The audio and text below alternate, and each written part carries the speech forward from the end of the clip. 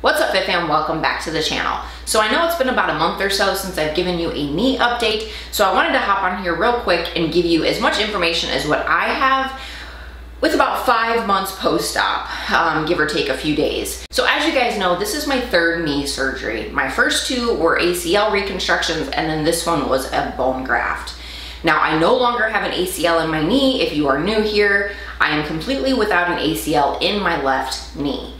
Now technically I am supposed to go back in for the second part of my knee surgery that I just had. So the first half is to remove the ACL, put in the bone graft material, make sure that my knee heals completely and then go back in later and replace the ACL. I'm choosing to not replace the ACL because chances are I'm probably gonna tear it again.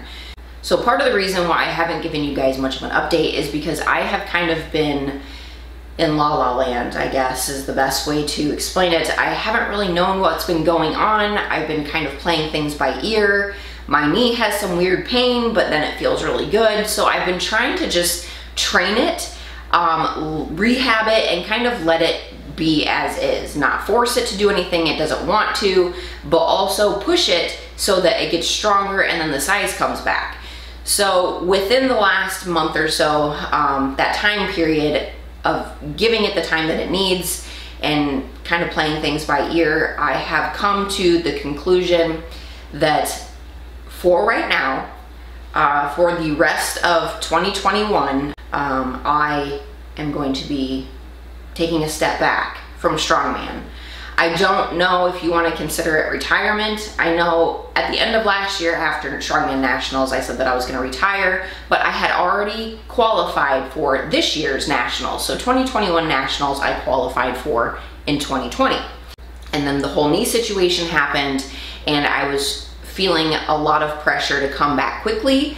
I was led to believe that I could come back quickly and it just is not the case. Um, I have a tremendous amount of weakness and pain in my knee when I do certain exercises or when I add more weight. I am able to do everything weightless. I have zero pain doing just simple body weight things, very, very light dumbbells, like 10 pounds or 15 pound dumbbells. And as long as the weight is on the front of my body, so when I'm standing in the front rack position, such as like a front squat, a clean, um, even like a deadlift. So when I have my hands down in front of me, the weight that is on the front of my body does not cause me any pain whatsoever. As soon as I move the weight to the sides, so if I'm holding dumbbells, I do have a tremendous amount of pain and my knee just is not is not okay. Um, I'm sure it'll change over time. Um, so that's why I'm saying that I'm just going to step back for the rest of the 2021 season of strongman and I'm not going to compete at nationals and kind of play it by ear. So today is day one of a six to eight week training block getting back into bodybuilding. So the plan going forward, because you guys know that I love to compete, it's what drives me, it's what keeps me motivated. If I didn't compete, I'd probably be lost. So we are going to go back to bodybuilding and we are going to try and put some size on me um, as well as maintain a little bit of the strength. So today I'm very, very excited because it is going to be the very first time that I have back squatted since before surgery. So since March 22nd of this year, it's been a very long five months. I've been patiently waiting. I wanna see if I can, if it causes me any pain, if um, my form is screwed up, if you guys remember in my earlier videos, I did have a really hard time and I struggled with my form on my squat, um, just trying to figure things out um, with my knee being fixed. And so I am pumped to finally be able to back squat. It's not going to be anything heavy. It's not going to be anything fantastic, but it is a start. So we're gonna go ahead and jump in. I'm gonna bring you guys along with me. Stay tuned for tomorrow when I go back to the surgeon and I will fill you guys in as to what he says about my knee and what I can expect moving forward. So let's go ahead and jump in.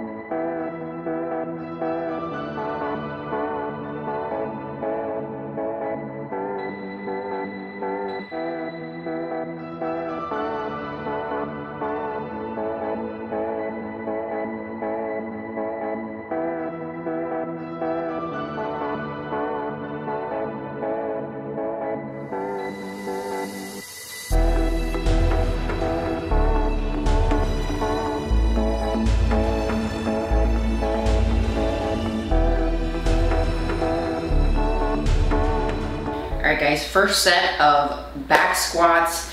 We did just the bar only. I'm going to work my way up to slightly more weighted. I'm doing four sets of 12 with a three second eccentric. So what that means is on the way down, you're gonna count one, two, three, and then go back up to the top. So you're just taking a little bit more time on the downward motion before popping straight back up. So I did have a little bit of uncomfortable feeling, a little bit of pulling, a little bit of stretching. Um, it's not to the point where it's too painful to continue, but it was uncomfortable. So the pulling that I feel is straight up from my kneecap to about the center of my thigh. Usually when I'm doing things like lunges or anything weighted uh, where I hold the weights on my side, I have a lot of pain on the interior part of my kneecap as well as my quad.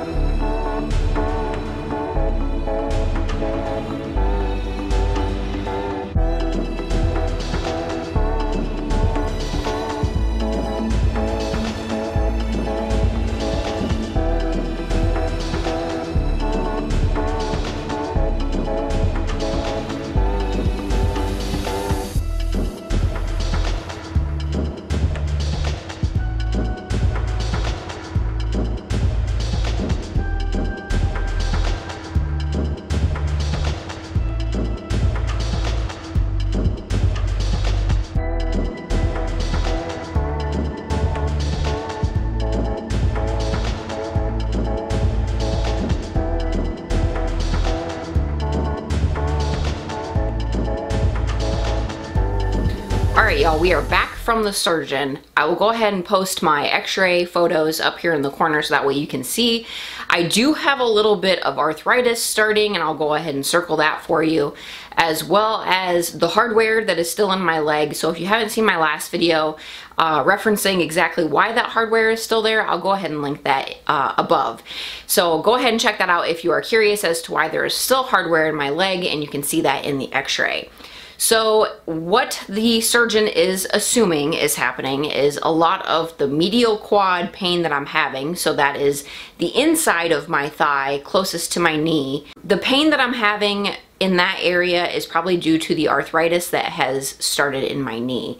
Um, the arthritis is fairly new from the last x-ray I had, which was six weeks ago. So within the last six weeks, I've developed some arthritis, which is probably what's causing the medial quad uh, pain. So the other question that I wanted to ask the surgeon was about the pulling sensation that I have through the kneecap into my shin and then up my quad.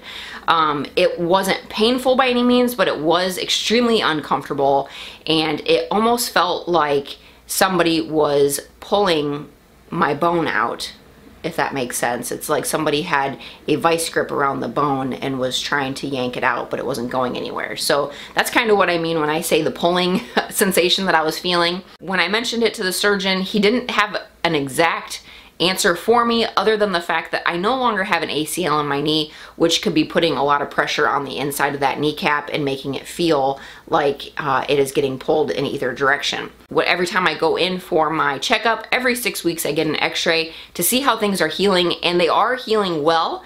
The arthritis is fairly new like I mentioned, so we're just going to see how it goes and play it by ear.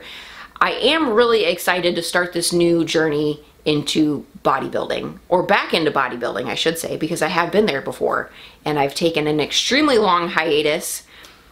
It's been five years, six years. So I am excited to kind of ease back into it, see if I can get the size back in my bad leg to match my good leg and build some substantial muscle. That's really the goal here. Um, when I was in bodybuilding before, I was in bikini and then I wanted to move up into figure and then the whole knee situation happened and it kind of put my plans on hold. So I'm excited to move forward and see if we can actually progress in the right direction. And I'm excited to have you guys along for the journey. So stick around. I will give you guys updates as things progress with my knee as well as my bodybuilding journey from here. So until next time, guys, don't forget to tap that subscription button because I'd love to have you stick around, as well as give this video a thumbs up if you enjoyed it, and I'll catch you next time.